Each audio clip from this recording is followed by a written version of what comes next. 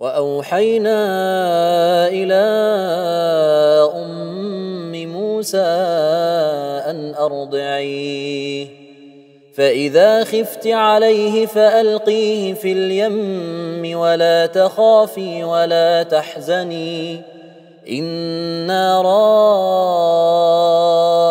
رادوه إليك وجاعلوه من المرسلين. فالتقطه آل فرعون ليكون لهم عدوا وحزنا.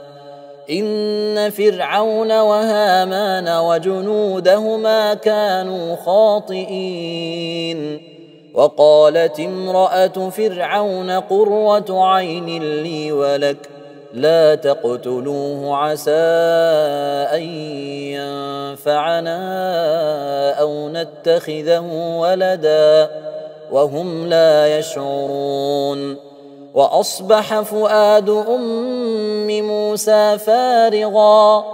إن كادت لتبدي به لولا أن ربطنا على قلبها.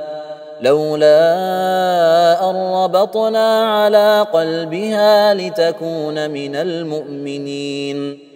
وقالت لأخته قصيه فبصرت به عن جنب وهم لا يشعرون.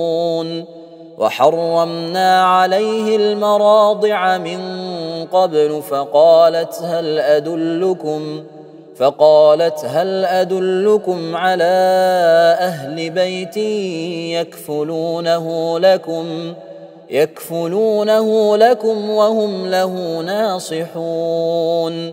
فرددناه إلى أمه كي تقر عينها ولا تحزن ولتعلم ولتعلم أن وعد الله حق ولكن أكثرهم لا يعلمون.